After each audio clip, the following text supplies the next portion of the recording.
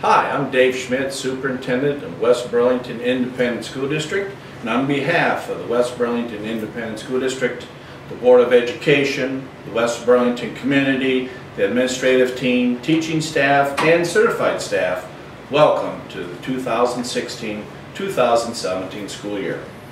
We are very excited to be implementing our one-to-one initiative utilizing Chromebook computers.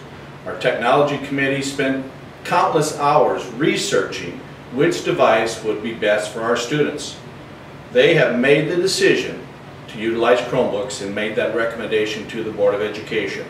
I 100% support that recommendation.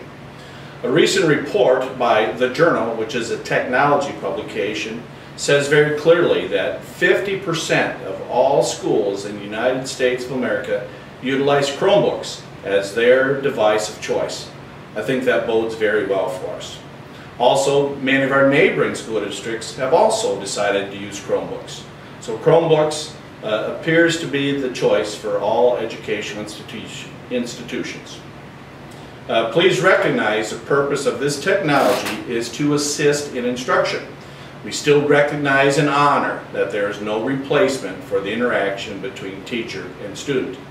It is our goal at West Burlington to have the Chromebooks assist in that interaction between teachers and students, but not replace it. We hope you have a great school year, and on behalf of everyone here at WB, I'll say our motto one more time, kids first.